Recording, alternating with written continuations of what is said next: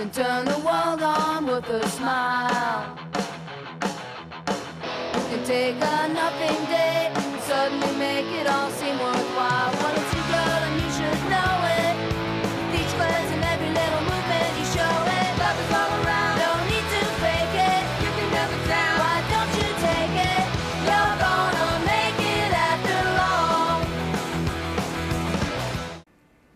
everyone, welcome to the show. Today is March 7th and Marc has 488 days left to go on his US prison sentence. But in one month, as of yesterday, Marc's US transfer application paperwork will go to the US Department of Justice. So we're getting closer to that point and they can make a decision anytime after that, hopefully within three to six weeks. That's what we expect. And let's hope it's a yes. And if you Americans down there would like to help out, please send a letter to the U.S. Department of Justice Prisoner Transfer Section. Uh, I'll include a link below, but you can also find more of that information in one of Marc's previous blogs posted at freemarc.ca and cannabisculture.com. So uh, help out if you can in that sense, and we'll be asking our Canadian supporters to do the same for his Canadian application when it goes in. I got some photos of Marc. Now, these I haven't actually had a chance to scan them in yet because I just got them today at the office, but they were taken on February 16th and 17th. And this was just uh, last month then, and we've got some more pictures on the way. And we're back at the beach again, so it looks like there's sunshine even shining on us, but that's just the lights. But um, once again, as I've said before, we will have our real day at the real beach one day. Uh, and those are really cute. We've I'm surprised my skirt seems so short and I was allowed to wear that. and you're not allowed more than two inches above the knee, but uh, glad that that worked out. So I'll have more photos of Marc and his band all performing together in concert with all their instruments, hopefully coming soon, and I'll be sharing those with you guys when they get here. And today I went to Chapters to find two magazines. In fact, I only went for one and I found that uh, it's a very popular topic. The Walrus magazine is a Canadian news magazine and they've profiled me before. They actually called me the Princess of Pot on the cover. So if somebody asks me how I got that name, then the Walrus did it in writing. But uh, they've got this big article on planting the seeds of corporate marijuana. And it's a huge piece on all the people getting ready to grow marijuana legally. And they say marijuana prohibition is destined to end. And that's pretty much the consensus amongst everybody is that you know, it's going to happen, so who's going to be lined up to make the money? And they've mentioned me being at the Treating Yourself Expo, where I'll be again this year at the end of May. And they also interview people running dispensaries and all sorts of other businesses going on. So you have to find this on a newsstand. I don't think you can read it online yet, but you can also download it as an app. Um, and that's an interesting article.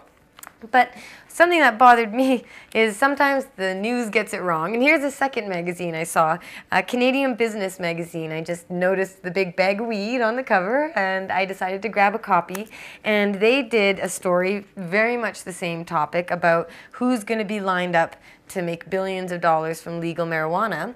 But the good thing about this is they talked to Greg here and he got some good quotes in there and promotion for cannabis culture and cannabis culture headquarters. But they say that Marc Emery sold pot through the mail and that drives me crazy. I hate it when they say he sold pot. It's a basic fact that he sold seeds, but I don't know. They got an ear load from me or at least a tweet load, I guess. I wrote them some twit tweeters whatever, some tweets I tweeted to the Canadian Business Magazine, and I said that they printed a lie and that they really should have done their research and gotten the basic fact right that Marc sold seeds, not weed. And anyway, hopefully they'll print a retraction in the next issue. I'm going to call up the office when they're open tomorrow and let them have it uh, because I'm very eager to defend man, my man Marc when they lie about him in the news because he wasn't a weed dealer. He made millions of dollars through seeds to finance an industry that gave you this topic to write about today. So you know what? Get it right, please, and I'll let them know. Um, so those at least get the story out there, though, that marijuana is big money and big business, and people are getting lined up, good and bad people. You know, everybody likes to take advantage of an opportunity, so we just have to hope that a lot of good people get out there and make the most of it. Now, last night I was at a fantastic event over in West Vancouver. Sensible BC, by our dear friend Dana Larsen, has been organizing a referendum to decriminalize marijuana in BC. Here in British Columbia, we need to get 10% of voters in every riding to agree to endorse the Sensible Policing Act, which would make sure that police aren't allowed to use any money or any time to go after simple possession. And the possession arrests in BC cost us $10.5 million each year, so this isn't nothing. This is something that's costing us a lot. It's too much to pay for, and we need the support of British Columbians to get the referendum on the ballot next year. But in order to do that, we have three months to get all those signatures this year. And if you go to sensiblebc.ca, you'll find all these incredible forums and events coming up. The one I was at included Dr. Evan Evan Wood of Stop the Violence BC and a huge amount of other harm reduction and drug policy reform work. Uh, MLA Kash Heed, an elected member of the legislature who I ran against last election in 2009, he's speaking out for Stop the Violence BC about ending prohibition.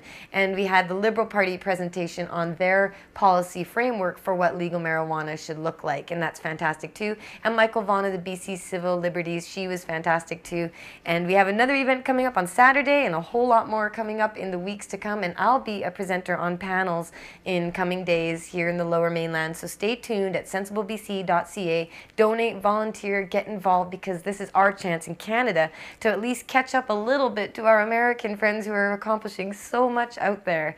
And tonight I'll be going to the North Vancouver City Council, and they're having a presentation by Stop the Violence with uh, Dr. Evan Wood and Kash Heed, but also Jeffrey Plant, former Attorney General, who joined me and Evan Wood and Marc's prosecutor John McKay back last year on a panel discussing legalization. So I'll be seeing Jeffrey Plant again and thanking him for his advocacy. And these are some high profile people who are bringing a lot of serious thought to this issue. So I'll be going to that city council meeting because they're discussing how marijuana laws are going to change. So let's prepare to deal with it.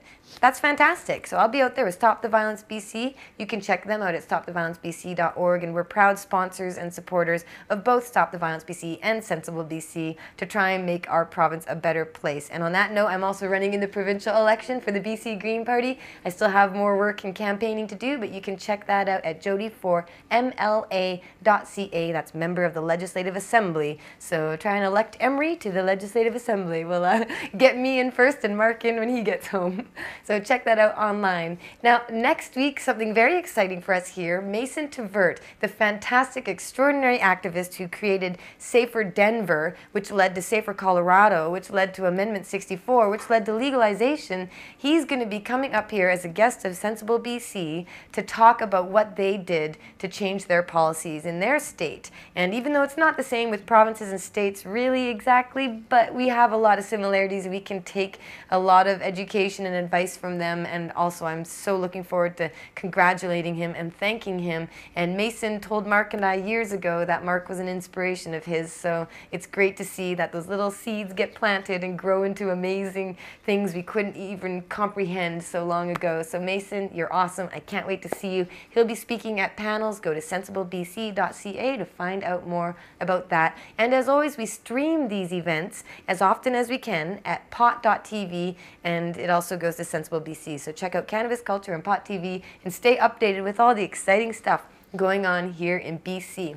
Now, last week I did the announcement that I found these posters Marc had signed in 2009. 200 of them he signed Plant the Seeds of Freedom, Overgrow the Government, and we had a few of them buried away. So I've got these to give away, and I have a lot of entries for that. And the winner is also, as usual, oh, forget it, you know there's a pin. There's a pin, and there's four stickers, and there's the free Marc t shirt, as usual. And we'll get these out to a winner who gets pulled from the bubble bag. Now, bubble bags are made by Bubble Man, and this is the cleanest, safest way to get a concentrated extract out of your cannabis. I'm not a fan of butane, I'm not a fan of oil. You know, each their own, you go ahead and do what you like. But I think if I were to recommend any way to turn your cannabis into something a little more potent, bubble bags are the way to do it. And you can get them at cannabisculture.com slash store, along with so much more uh, we've got always available. Now the winner is going to be Jeff G. You wanted to be in the draw. Keep your chin up, mate. All right, you might be from down under perhaps. So you're a winner. You're going to get that poster. But I'm also going to give away another poster because I got a last minute entry saying, please, please put me in the draw. I want that poster so bad. So next week I'll do another draw. This is number 72 of 200 that Marc signed before going into prison temporarily here awaiting extradition. He was released and then he got extradited in May 2010. But that will go to a winner. Just send an email to jodie at cannabisculture.com. I'll put you in the bubble bag and you might be the winner next time. But I do it every week. So as long as you tune in every week and send in your email, you'll get a chance. And we really appreciate the support. Hopefully, um, all of these stickers will have to say freed Marc when he gets home, maybe at the end of the year or early next. And we depend on your support for that. So thank you so much for doing everything you can to get Marc transferred and home. And send me an email with any suggestions of politicians I should email to ask for their support. I'm compiling a list and I'll send a formal letter requesting that they please bring my husband home to me uh, now that he's near the end of his sentence and so much time has passed. So thanks a lot for tuning in. Stay updated at Cannabis Culture and Pot TV. We appreciate the support and do anything and everything you can, at least one day a week. Do something to end prohibition, to educate someone, and make the world a better place. Thanks a lot for tuning in. We'll see you next week. Free Marc Emery.